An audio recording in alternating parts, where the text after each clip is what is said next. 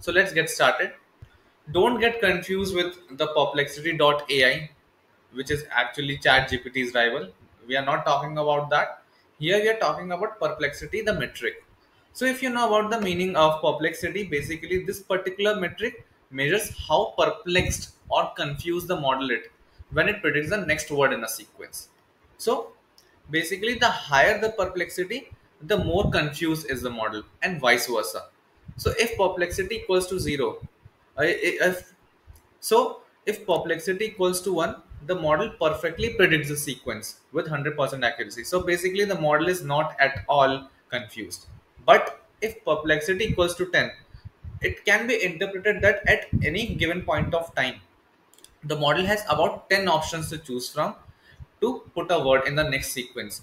And eventually the model is very confused because it is having 10 options to choose which word to put in hence it is not able to clearly decide so higher the perplexity more confused the model is so how it is calculated using this particular equation this mammoth equation that might be looking very dangerous to you but i will be trying to demystify it so assume that we have uh, this particular text given by the LLM.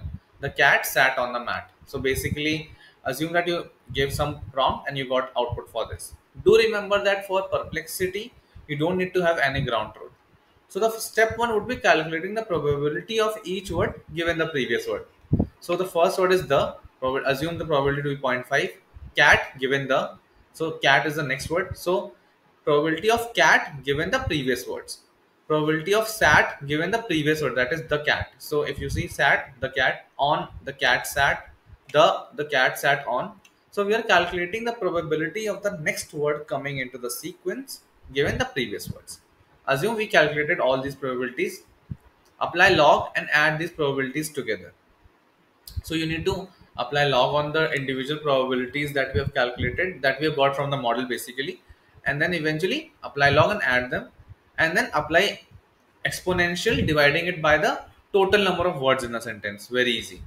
Assume the value comes out to be 2.275 hence perplexity is 2.275 meaning the model needs to choose between about 2.275 words for choosing the next word in the sequence for calculating perplexity i think you must have understood by now you need to have probabilities of prediction available with you. Basically, uh, perplexity can't be calculated using APIs because APIs are directly giving you the output not without the probabilities. So basically, if you're using a local LLM, if you're using Hugging Face models, I think you should be able to get the probabilities and eventually you can calculate perplexity. Else, you have the model. Uh, the there's a package called as evaluate which provides this metric to be calculated by Hugging Face.